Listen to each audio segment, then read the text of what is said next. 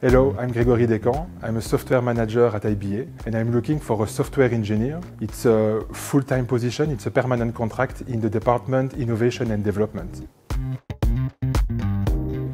Our company is active in developing equipment and software dedicated to the cancer treatment, but also to diverse industrial applications.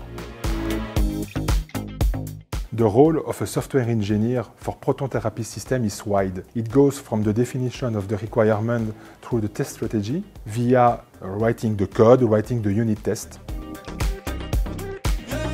The person I'm looking for is a software engineer with a strong experience in Java and its ecosystem, like JUnit and Mockito. It also needs to have uh, some knowledge with Docker and the Linux environment. He or she must speak and write English fluently, should be a team player, and should be able to interact easily with the other engineers. There is no typical day. We have a lot of responsibilities and activities. There are times for meetings, but there are also times for writing the code and the documentation.